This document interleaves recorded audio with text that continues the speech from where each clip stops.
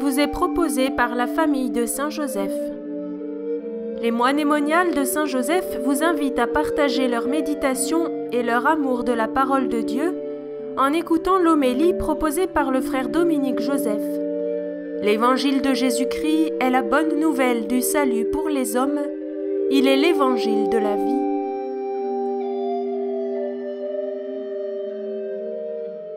Frères et sœurs, il serait facile de se moquer des apôtres si nous ne leur ressemblions pas tant dans les heures difficiles. Euh, regardons rétrospectivement tout le chemin parcouru depuis les jours de la Passion. Que s'est-il passé? Le Seigneur Jésus s'est battu contre notre adversaire. Nous nous étions rendus euh, esclaves de notre ennemi par le choix inconsidéré de refuser l'amour de Dieu euh, et la grâce offerte. Et le Seigneur Jésus s'est battu pour nous libérer de l'emprise du péché et de la mort. Aux heures les plus intenses du combat qu'ont fait les apôtres, ils ont parti. Quelques-uns sont restés, les femmes notamment, Saint Jean également, mais globalement, ils sont partis. Ils sont partis parce que ça fait peur et parce que c'est dangereux. Ils craignaient pour eux. Et au jour de la résurrection, euh, le Seigneur les retrouve donc terrés dans le cénacle, euh, apeurés.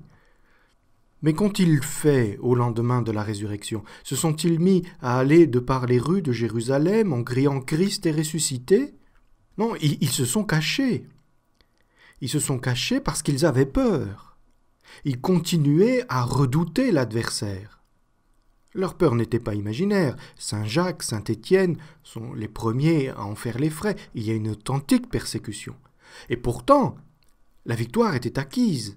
Le Christ est ressuscité, l'ennemi était vaincu définitivement. Mais il continue à être sous le régime de la peur. Et c'est ainsi que, en ce matin où nous fêtons la Pentecôte, l'Église nous présente, par cet évangile de Saint Jean, les disciples qui reçoivent une nouvelle fois la paix que Jésus ressuscité vient à nouveau rejoindre au cœur de leur peur et de leurs enfermements. Cela nous enseigne, je crois, que jusqu'au bout, le temps pascal est un temps de conversion.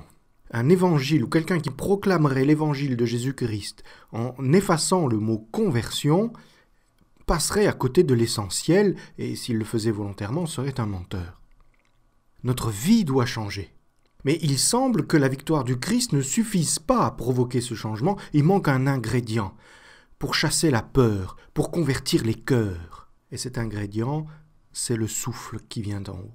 C'est le feu du ciel qui tombe sur l'assemblée ecclésiale, c'est-à-dire sur les disciples réunis. Ces deux images de l'esprit comme souffle et de l'esprit comme feu euh, sont peut-être à réunir dans, un, rapprochement avec l'artisan verrier.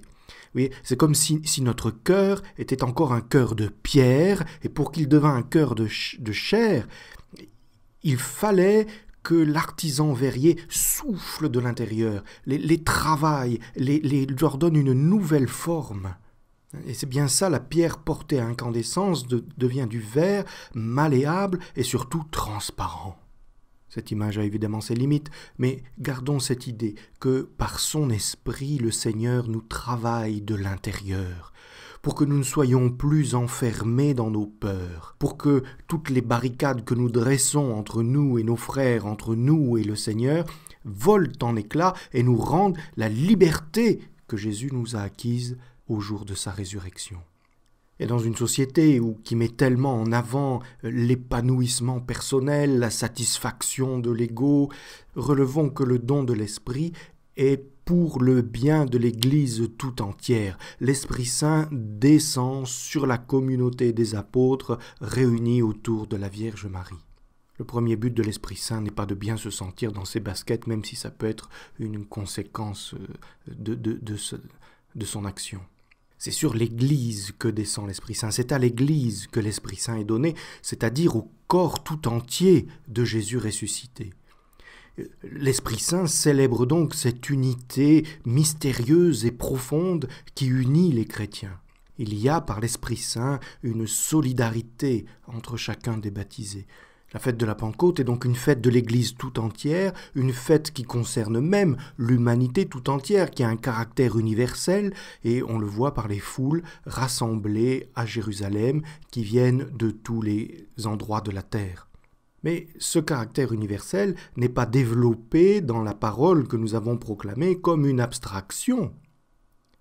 Les disciples, effectivement, reçoivent l'Esprit Saint et la capacité de porter l'Évangile, Aussitôt ils se mirent à parler.